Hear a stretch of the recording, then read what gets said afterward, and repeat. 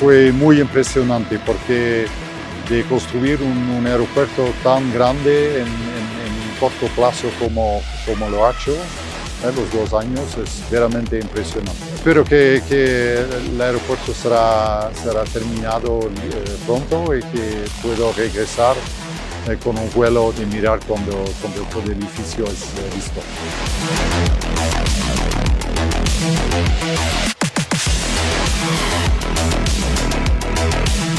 Me ha parecido espectacular.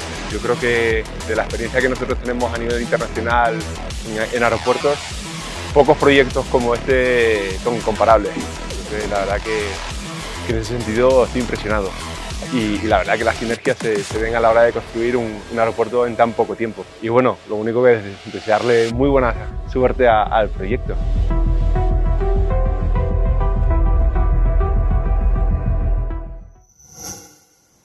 Gobierno de México.